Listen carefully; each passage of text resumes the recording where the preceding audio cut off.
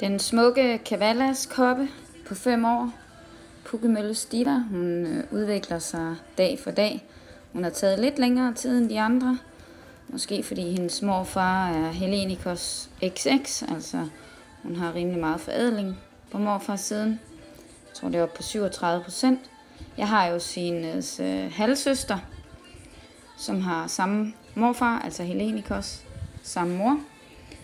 Det er Sif, den skimlede, som I har set på mange videoer, som nu er syv. Hun tog også rigtig lang tid om at udvikle sin krop fysisk. Hun hænger stadigvæk ikke sådan helt sammen, og det gør jo så også, at hun øh, taber takten og går lidt op og ned og slinger lidt, øh, men har utrolig meget mod og indstilling og har også et godt spring.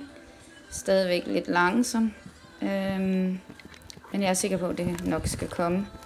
Vi arbejder rigtig meget øh, på stupmarker lige nu, op og ned ad bakker en to-tre gange om ugen.